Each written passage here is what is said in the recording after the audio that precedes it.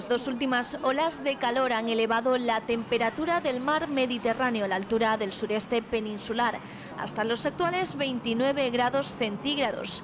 Y se prevé que esta tendencia continúe al menos durante unos días más y se alcance la cifra récord de 30 grados. Viene a mantenerse una tendencia que, llevamos en la última década de que los veranos, es raro el verano que no sea caluroso, ¿no? Eh, ya esos veranos frescos que tuvimos en los años 90 o incluso comienzo de los 2000, bueno, pues los, los hemos despedido porque, ya digo, en los últimos años, años y año también, los modelos de predicción para el verano siempre nos hablan de veranos calurosos.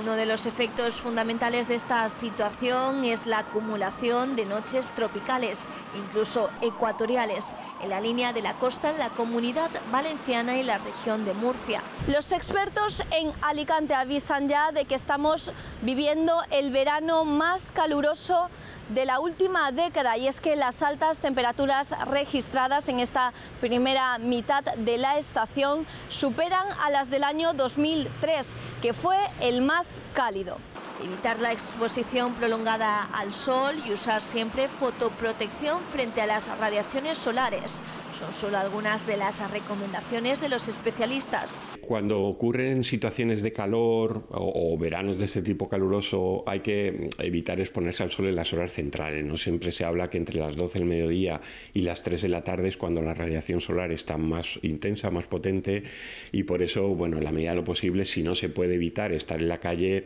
pues sí tener algún sistema de protección, cremas de protección por el cuerpo, por la cara, porque es verdad que, en esas horas centrales la radiación es intensa, se suma al calor que, que percibimos en el cuerpo y puede ser perjudicial.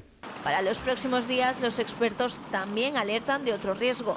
Debido a la alta temperatura del mar, se podría formar nubes muy enérgicas que podrían generar una situación de dana o gota fría con episodios de lluvias muy intensas.